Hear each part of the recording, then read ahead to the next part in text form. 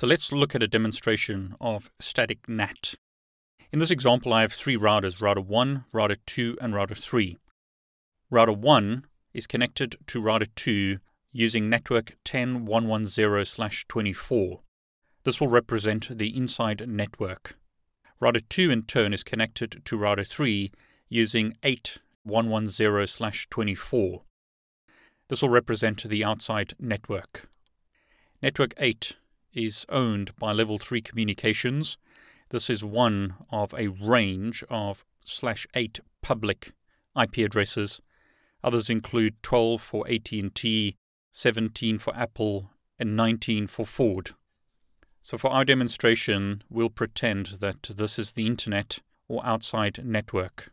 All I've done on these routers is configure IP addresses and a static route on router 1. So on router 1, show run interface f0 slash 0, you can see the IP address and show IP route shows me that that network is directly connected to fast Ethernet 00 and router 1 has a static default route to router 2.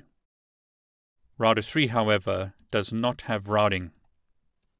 I've configured an IP address on the fast Ethernet interface, but show IP route shows us that there is no default route. There are no IP protocols running on this router. It only has this IP address configured on Fast Ethernet 00. Router 2 in turn has 10112 configured on Fast Ethernet 00 and 8111 configured on fast Ethernet 01.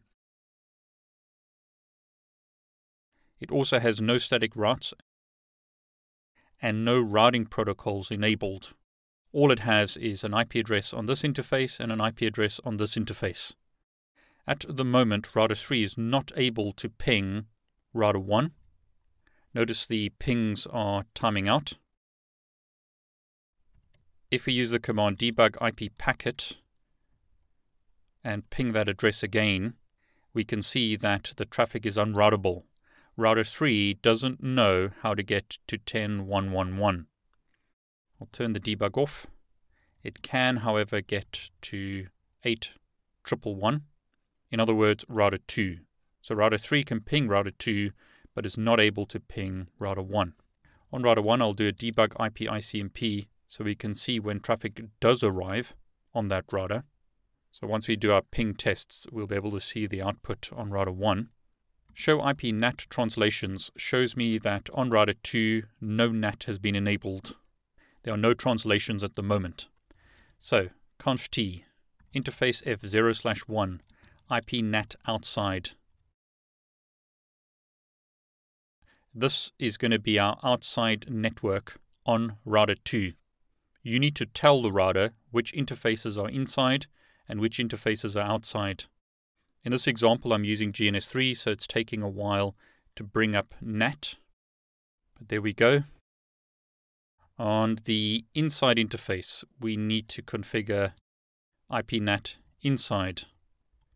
And now that we're configuring static NAT, we use the command IPNAT. We have a few options. We can do NAT of inside hosts, or NAT of outside hosts. In our example, we want to NAT this IP address, which is an insider or inside host, so I'm going to specify inside. We're going to NAT the source IP address of packets, not the destination. So when traffic gets sent from R1 to R3, the source IP address is going to be NATed and not the destination IP address. We could use a list, a route map, or static. In our example, we want to use static. We want to specify a static local to global mapping. So on Cisco devices, the first IP address that you're going to configure is the actual IP address of a device. So in my example, this is the actual IP address of this host. So I'm specifying that. So I need to specify source. I then have a few options. I can specify the IP address and protocols in my example, I want to NAT IP address 10111, which is the actual IP address of this device all IP traffic is going to be natted. You can specify that only TCP or UDP traffic is natted, but in our example, we are specifying that all IP traffic is natted. More complex examples are not necessary for the CCNA, but I will demonstrate them just to make sure that you understand those options. Here we are simply doing a one-to-one -one mapping of an IP address. We then need to specify the global IP address or an interface. So in my example, I'm just going to pick an IP address in this range, 8.1.1. So I'm simply going to choose 8.1.1.5. That address is not physically configured anywhere. We can specify various options, but I'm simply going to use carriage return to create the NAT entry. So now when I type show IP NAT translations, we can see that the inside local address, so the physical PC on the inside network, when on the local area network, has this IP address, so inside local IP address on the LAN. So logically, we are saying that this is our LAN, or local area network, and this is the internet in our example. So global internet. So this host's IP address on the global internet will appear as follows. So on router 3, can we ping 10111? No, we can't. We can't ping that address at the moment because this device has no route to get to this IP address. However, can it ping 8115? Took it a while, but notice the ping started succeeding, and on router 1, we see the echo reply from a source of 10111 to a destination of 8112. Router 1 is replying using this address. But what does router 3 actually think it's pinging? So let's do a debug IP ICMP on this side and ping 8115 again. Notice it's receiving traffic from 8115, but router 1 is actually sending it from 10111. So from router 3's point of view, the destination IP address is 8115.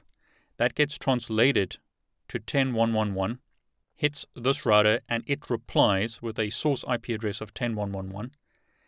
When it hits router 2, it's translated to 8115 and forwarded to router 3. Okay, that concludes this vlog entry. Please let me know if there are any other topics that you'd like discussed as part of the CCNA vlog. If you enjoyed this video, please like it. It means a lot to me if you like the video and especially if you subscribe to my channel.